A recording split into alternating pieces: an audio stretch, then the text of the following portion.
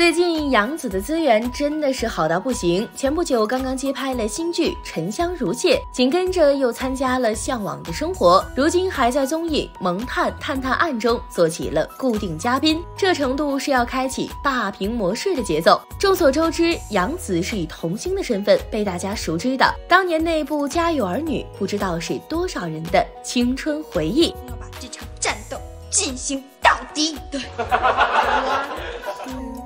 three，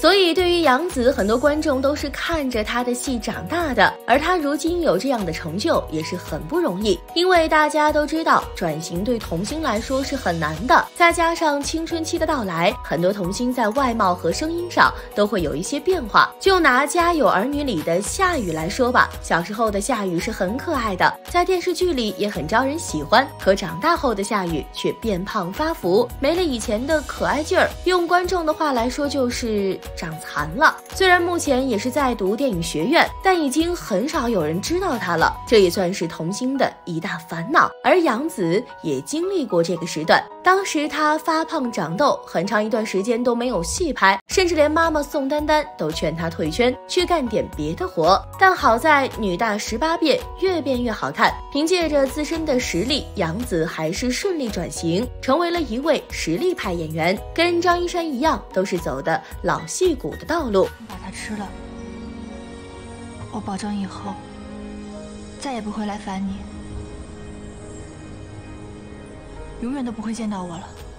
而且自从二零一八年的《香蜜沉沉烬如霜》之后，杨紫的人气就一直居高不下。之后更是新剧频出，成为了近两年最火的人气小花。一般来说呢，明星都会在自己大火的时候增加曝光量，来获取观众更多的关注。但杨紫却在自己名气最高的时候选择停下来，放慢节奏，去调整自己的生活。这对于身处娱乐圈的明星来说是很难得的，因为我们都知道娱乐圈是很残酷的，很容易就会被新人刷下来。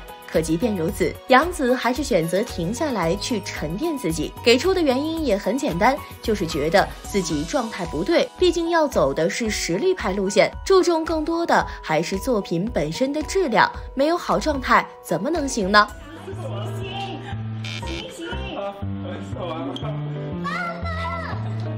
死了，这个。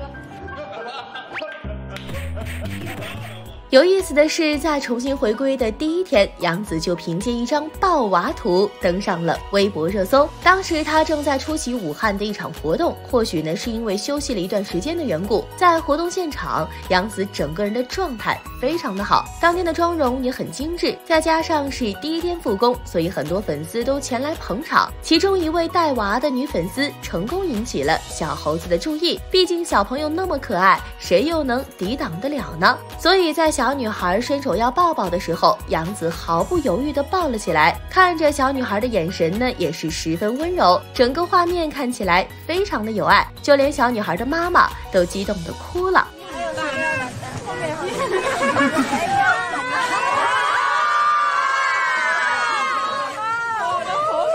好可爱，哎呦，怎么这么可爱呀，宝宝！